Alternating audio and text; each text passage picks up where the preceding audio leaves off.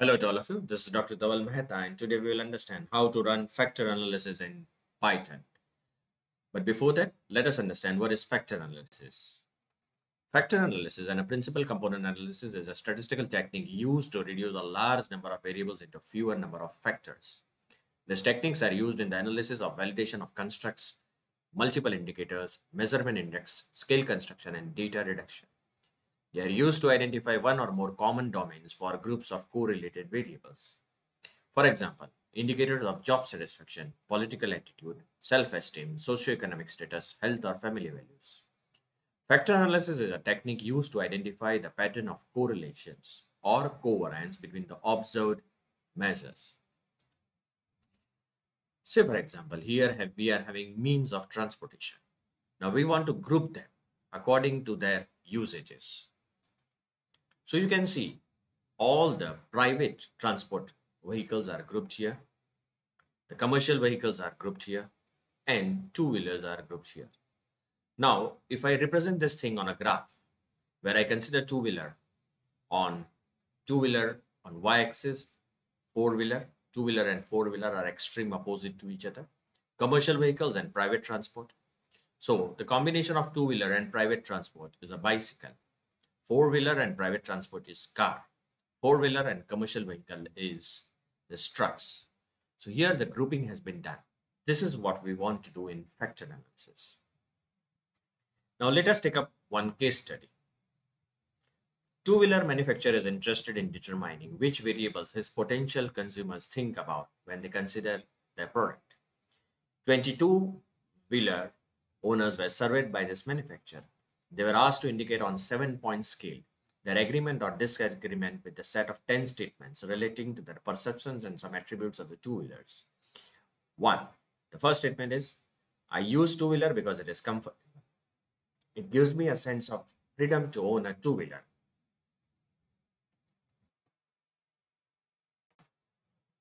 Low maintenance cost makes a two-wheeler very commercial in the long run. A two-wheeler is essentially a man's vehicle. I feel very powerful when I am on my two-wheeler. Some of my friends who don't have their own vehicle are jealous of me. I feel good whenever I see the ad for my two-wheeler on TV, in a magazine or, in, or on a hoarding. My vehicle gives me a comfortable ride. I think two-wheelers are a safe way of travel. Three people should be legally allowed to travel on a two-wheeler. Now,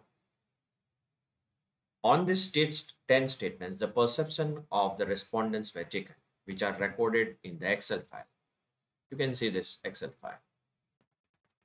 These are the 10 statements. And the respondents were of the people were recorded on 1 to 7.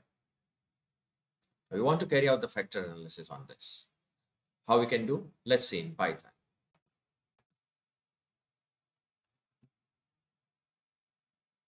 So first of all, import pandas as PD. From sklearn.datasets, import load underscore iris from factor analyzer import factor analyzer. It may be possible that you may not be having this library. So for this purpose, you will have to go in command prompt or anaconda prompt and you will have to write down here pip install factor analyzer and it will start loading the libraries. Once this is done, you will be able to use the full functionality of the factor analyzer library. Import matplotlib as PLT. You'll run this.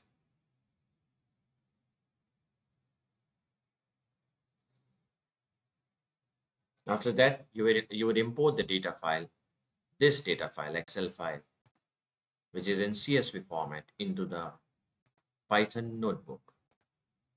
So df is equal to pd.read underscore csv. We use R for the smooth import of data file. I'll specify the path where this file is and I'll be able to import this file here. Then I'll run the command df.columns. It will give me the names of the variable. Then if I want the further information about the levels of measurement of this variables, I'll write on do df info round bracket then if I want to see the data, then I'll write down df.head round bracket So it will generate the first five rows of the data. Now I want to carry out some test to detect whether I can do the factor analysis or not. So for this purpose, we carry out the test which is known as Bartlett's test of sphericity.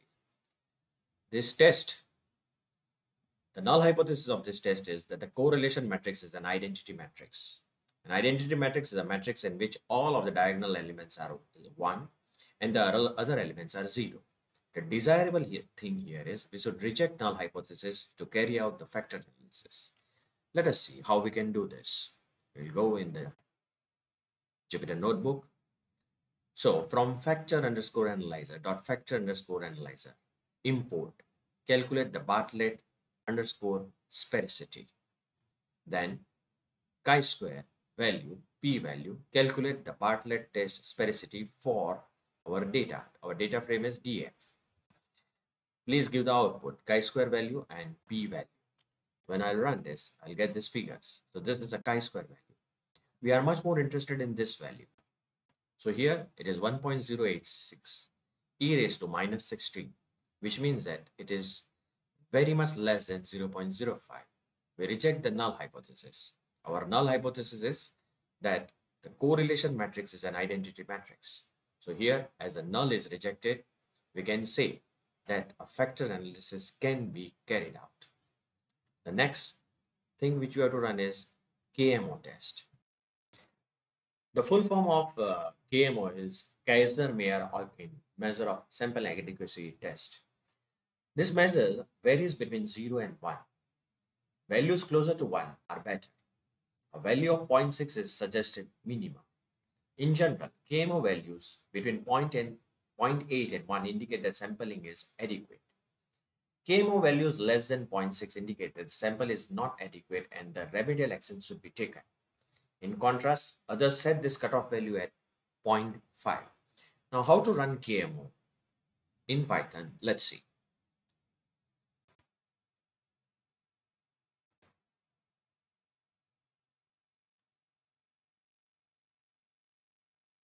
So we will specify from factor analyzer dot factor analyzer import calculate KMO. KMO KMO model, calculate KMO for our data frame. And then when we run KMO model, we will get 0.59. It is less and therefore the sample is not adequate for running the factor analysis. So it is necessary that we increase the sample size.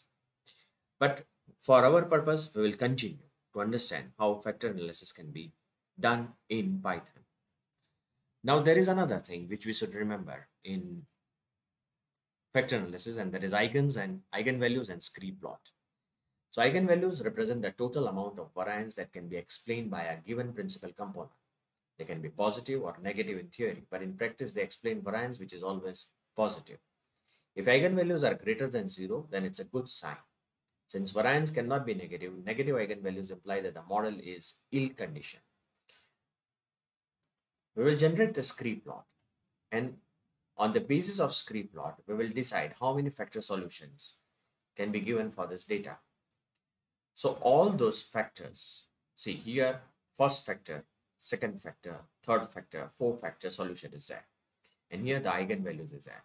So those factors whose eigenvalues is more than 1, I again repeat, those factors whose eigenvalue is more than 1 are considered to be the optimum factors. So here, if I consider that, uh, that our data is having one factor solution, its eigenvalue is above 1, good. 2, good. 3, good. 4, good. 5, we will not consider the fifth factor because its eigenvalue is less than 1. Now how we can do this? Let's see in Jupyter. From factor analyzer, import factor analyzer. FA is equal to factor analyzer rotation null. FA dot fit degree of uh, sorry not degree of freedom it is data frame. So I will get the factor analyzer rotation is non rotation quags into bracket. Now I will initiate the loadings. So loadings is equal to fa dot loadings underscore and this will give me the factor loadings. We are interested in the eigenvalues. Now based on this fa, see I'm again repeating, based on this fa, we'll be calculating the eigenvalues and therefore make sure that this two should match. So eigenvalues values is equal to fa dot get eigenvalues. You can very well see here that this is answer for first factor, second factor, third factor and the three factor solution is the optimum for our data frame. So I'll run this and we'll, I'll get this. Now on the basis of this uh, eigenvalues, we want to compute the scree plot which we had seen in the theory part. So how we can do this? So plot dot scatter range 1 df dot shape into bracket 1 plus 1 eigenvalues plt dot plot range 1 df dot shape into the bracket 1 plus 1 eigenvalues. We will give the title scree plot. This is just a name. You can give any name. This is uh, the plot dot x label is a factors plot dot y label is eigenvalues. So when I'll run this, I'll get the eigenvalue. The eigenvalue plotted on scree plot. So now let us consider this line to be the threshold line. Now this line to be the threshold line.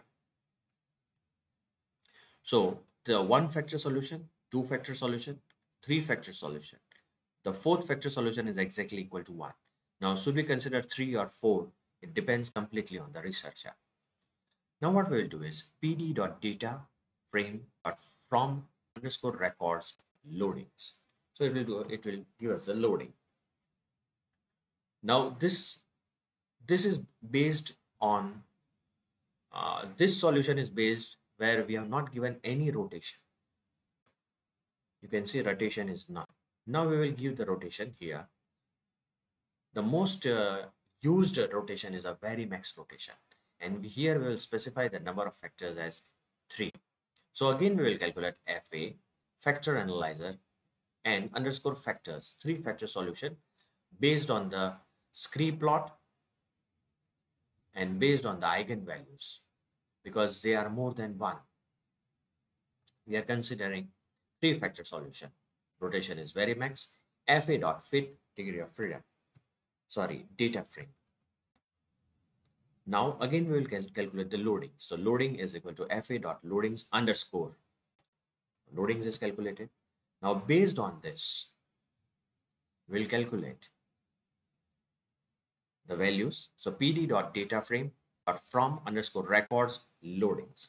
We got the values. Now let us copy these values in the Excel sheet. Okay, let us copy this. The same values I have taken here, right? Now all those values which were less than 0.5 have been removed. See those this value is less than 0.5, we will not consider. This value is less than 0.5, we will not consider. This value is less than 0.5, we will not consider. So third, fourth, fifth, sixth is retained. You can very well see the same thing I have considered. Third, fourth, fifth.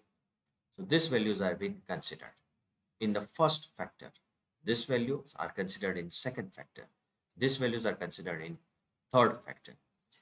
In factor analysis, we always have to give the name that what can be the the name of this factor so here you can see that these statements are sharing a common variances a two-wheeler is essentially a man's vehicle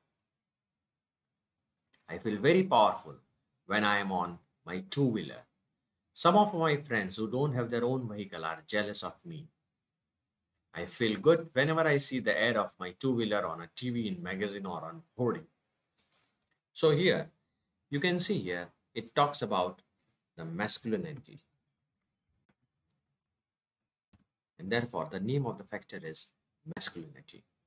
My vehicle gives me a comfortable ride. I think two-wheelers are safe way of travel. So here, we can give here ease of travel.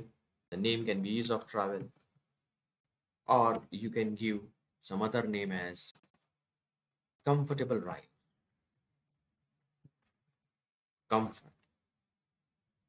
Now let us talk about this one i use two-wheeler because it is comfortable low maintenance cost makes a two-wheeler very economical in the long run three people should be legally, uh, legally allowed to travel on a two-wheeler so this talks about economy it's it's economical to use two-wheelers as means of transportation.